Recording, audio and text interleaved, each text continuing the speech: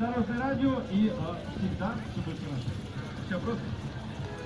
Итак, а, давайте-ка мы с вами, не откладывая в долгий ящик, начинаем конкурсы, развлечения и